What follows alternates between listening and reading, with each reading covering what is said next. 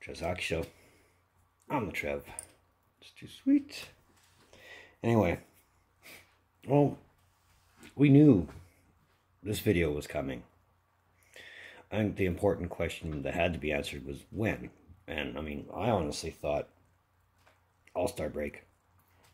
But if you'd watched the Vancouver Edmonton game on Saturday night, you essentially saw the same thing everybody else saw. The writing was clear as day written on the wall.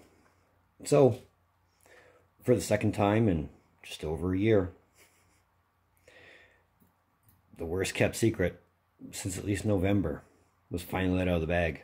And Vancouver has made a coaching change. The first coaching change during this season.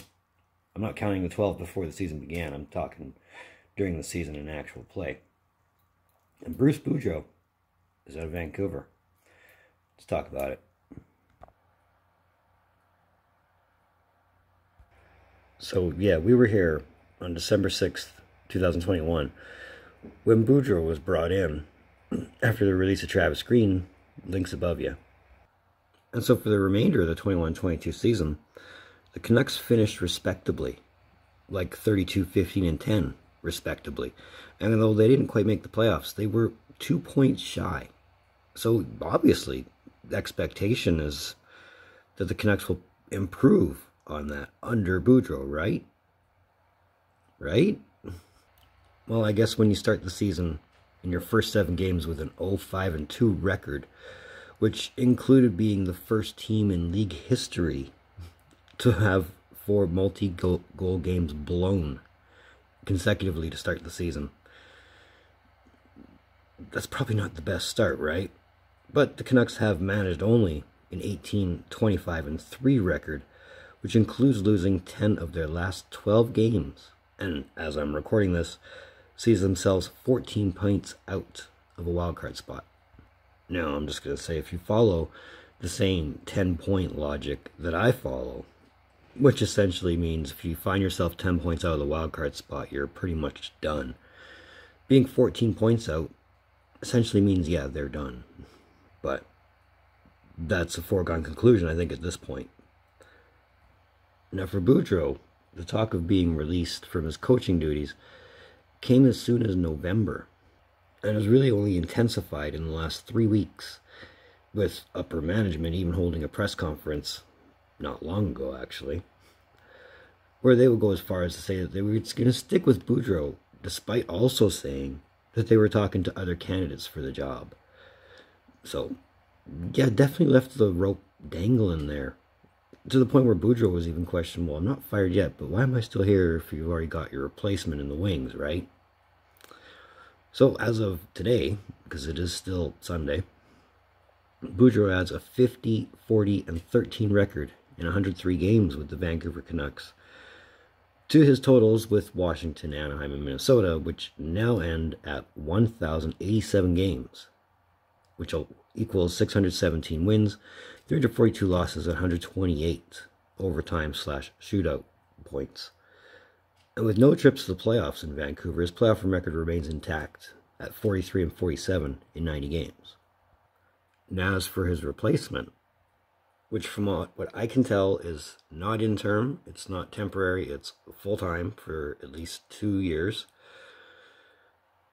is Rick Tocchet. Now, Tocchet hasn't coached since his time in Arizona, ended after the 2021 season, but he does come with a 178 win, 200 loss, and 60 overtime slash shootout point record in 438 games coached between Tampa Bay and Arizona. And what should be of note here is his 4 and 5 playoff record. In his 6 plus seasons coaching, he only has a 4 and 5 playoff record, which only became a thing thanks to the 1920 season and what that brought. But what he does bring is three Stanley Cups. Two as an assistant coach in 2016 and 17, when the Penguins went back to back, as well as one as a player, which he won in 92, again with the Penguins. So wouldn't you know it? Another Rutherford guy. Now Tocchet takes over a team that's in complete transition. And one can imagine the Canucks of today are not going to look like the same Canucks at the end of the season. Changes are coming, I guarantee it. And it's not to say even that the Canucks are going to tank, but one can think, I mean, 14 points out, and they're not that far from the bottom. Is it worth considering entering the Connor Bedard sweepstakes with a sure shot? but that's a different video for a different day, I'm sure. Playoffs are not obviously happening this season, so obviously you gotta look to the future, right? Right. But again, change is coming. You gotta think Horvat is as, as good as gone as soon as they find a partner. The team essentially looks like they've given up. I mean, what's the shame in finishing any lower in the season than what they can? I mean, they were supposed to be better, especially with JT Miller and all that. But alas, they're not. So definitely some some change, major change has to happen in Vancouver for them to be competitive again. But if the plan is to just drop everything, start from scratch, and see what next season happens, then Tocchet's in the right situation. But here's my opinion on it. This was just bad. Not bad for Boudreau. I'm sure if he wanted to, he'll find another NHL job some, somewhere. That, I think, is a guarantee this is bad for Canucks upper management. This is bad for the Canucks as a whole. Like, this is reputation control now. I mean, going into a press conference saying you have full confidence in your coach, only to say in the same breath, you got his replacement waiting in the wings, just have to wait for him to be ready. Ugh. Like, yeah, damage control now, or, you know, at least have the reputation of, you know, we'll screw over another coach in Vancouver, because that's what we do. Oh, I'm sure there were probably better names out there that they could have reeled in to be head coach because, I mean, I'm not defending Boudreau. I mean, I've never really been the hugest Boudreau fan myself, but I don't see how Tocchet is any better of a fit.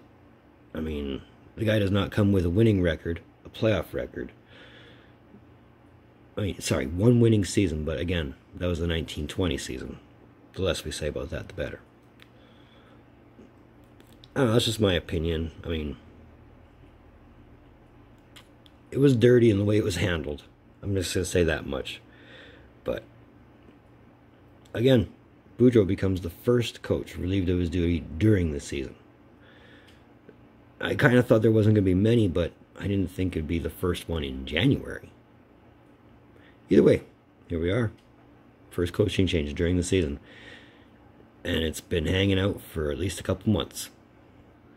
Let me know your thoughts on the coaching change in Vancouver.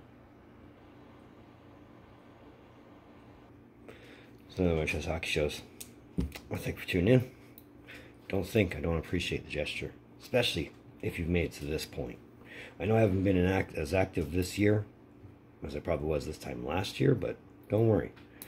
I'm working on things. but either way, if you've made it this far, if you're digging what I'm doing, if you just want to say hi, hit that like button if you really want. That red button that says subscribe all over it, you know what to do. You know how to make it feel.